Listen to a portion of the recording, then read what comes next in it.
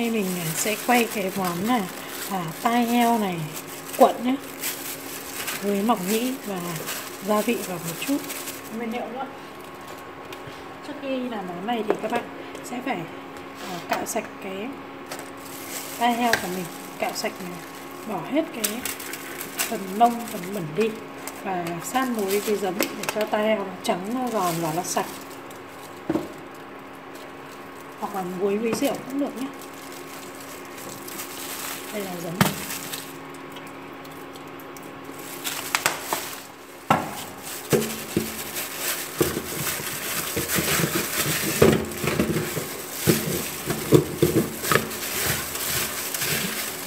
các bạn đây, trong những cái ria kẽ này, khi mua các bạn nhờ người bán hàng người ta làm sạch trước cho mình trong cái ria kẽ này. Sau đó các bạn về các bạn sát muối sạch. Thôi giấm thôi còn người bán hàng người ta đã cạo sạch cho này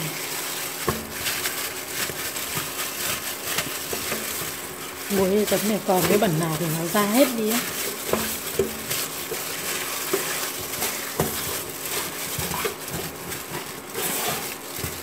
Rồi bây giờ mình mang đi rửa sạch lại. Là được thôi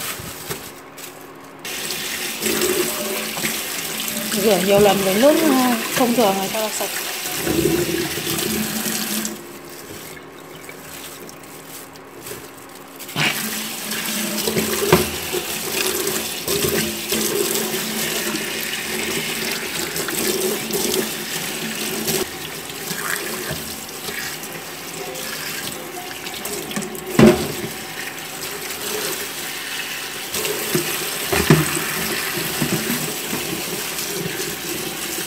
rồi bây giờ mình sẽ mang đi mình làm những nguyên liệu khác này mình cuộn nhé mỏng nhĩ này lấm hương này một ít này thôi vì cái tai nó nhỏ và hai củ hành tím và mắm muối hạt lên mì chính một ngọn à, hạt tiêu.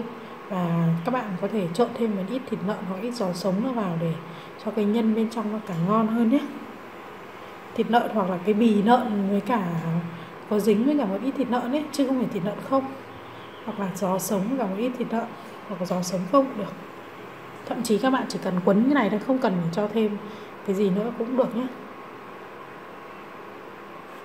mình à, chỉ cần à, chuẩn bị à, khoảng hai thìa ăn phở, khoảng 50 g giò sống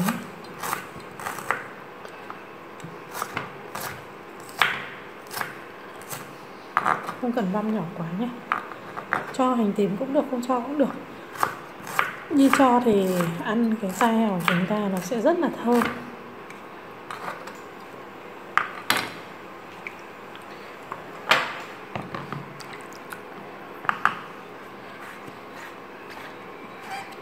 Thái xong rửa sạch lại. Ngâm đến nước ấm nhé để cho nó nhanh nở ra.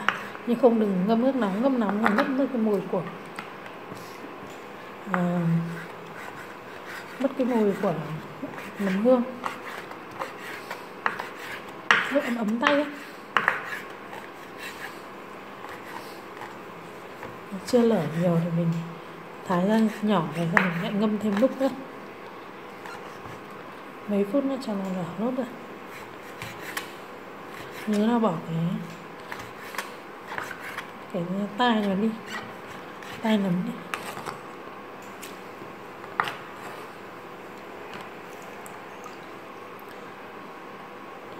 Khi mà cái mỏng nhĩ, cái nấm hương này nó cũng đã lở ra rồi nhá. Thì bây giờ mình mang đi, mình xả lại với nước lạnh cho nó sạch thêm. Rồi sau đó mình mang đi ướp với giò và gia vị nhé đây là giò sống các bạn có thể thay giò sống này bằng thịt lợn nhưng mà có cả phần bì nhé để khi mà mình cuộn vào, mình luộc ấy, thì nó sẽ hòa quyện với nhau bì nó ra cái chất nhầy ấy. Còn bạn nào mà thích thì có thể là không cần phải cho thịt, cũng không cần phải cho giò sống. Dùng mọc nhĩ nấm hương thông thường như này thôi và trộn với gia vị và cho vào quậy bây giờ mình chỉ cần trộn với một chút hạt lem gần một thìa cà phê này. nửa thìa cà phê hạt tiêu này. để cái phần hạt tiêu đừng bột quá nhé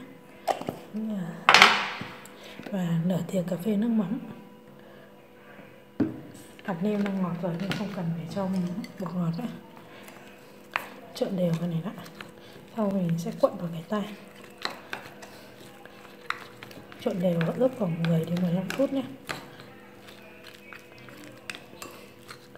Ờ, Đó, cuộn vào cái tay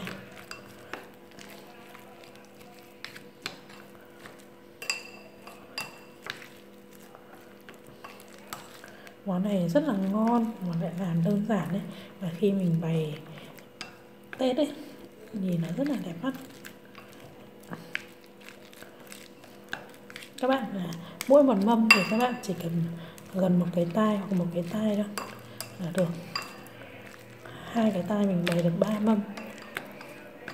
Nhưng tết các bạn hãy làm để bày mâm cơm tết đấy mình chỉ cần bó đấy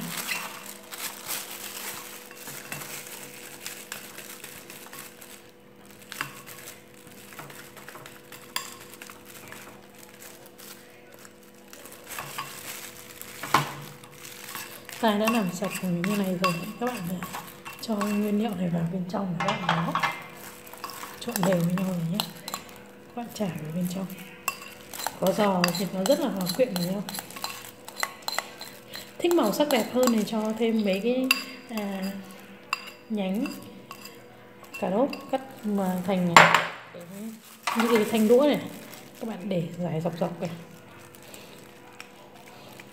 Vì khi mà mình hấp lên mình thái ra thì nó sẽ có nguyên nhân đỏ đỏ. Rất là đẹp hoặc là thêm trứng muối.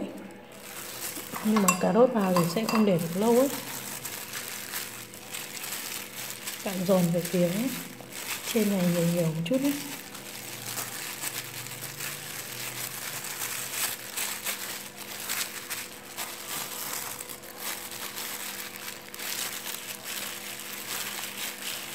cứ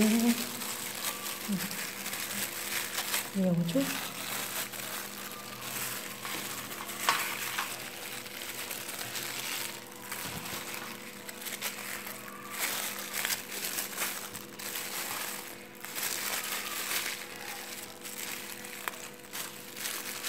Buộc lại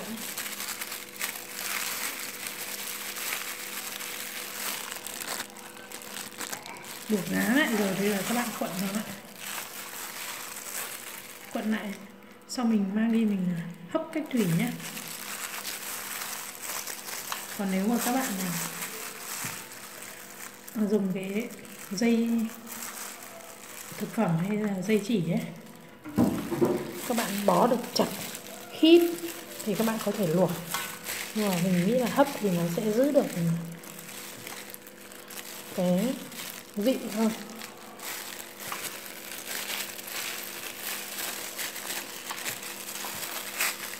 hấp lâu một chút để cho nó hòa quyện vào nhau.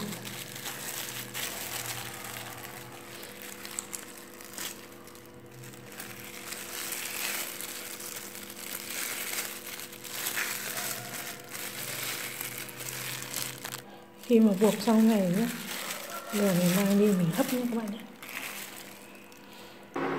Bây giờ mình cho lên mình hấp nhé. Các bạn cứ hấp đến khi nó chín và nó mềm một chút mới được, thì nó nhé hấp khoảng 40 phút cho mình hấp nó cũng khá lâu rồi nhé à, chắc là cũng sắp được rồi. Nên mình chuẩn bị mình tắt bếp và mình để cho nguội xong để ở trong ngăn mát tủ lạnh khoảng một tiếng.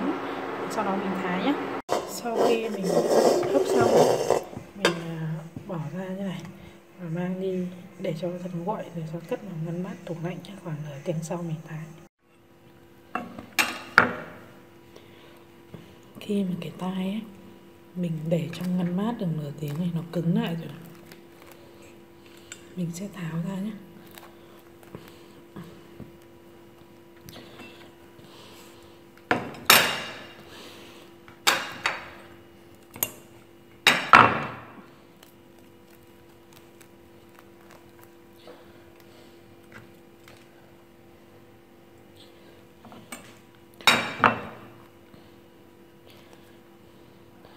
để trong ngăn mát thì nó sẽ cứng lại. Thái ra nó sẽ đẹp hơn ấy. Đây, các bạn nhìn nào rất là đẹp. Các bạn hãy làm cái này để làm tết nhé tết chúng ta bày ra tiếp khách nhìn nó vừa đẹp, ăn lại giòn, thơm ngon đấy các bạn nhìn nhé mình sẽ thái nhé các bạn thấy không? Rất là hấp dẫn. Mà nó lại thơm nữa ăn lại giòn sần sật đấy.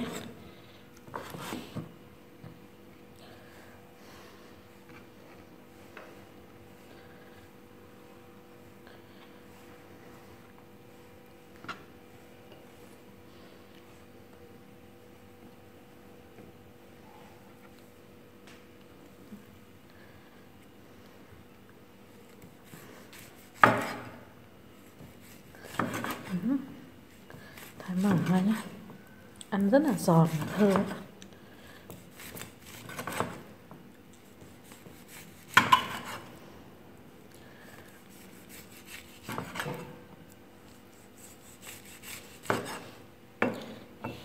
lại cần đẹp mắt nữa.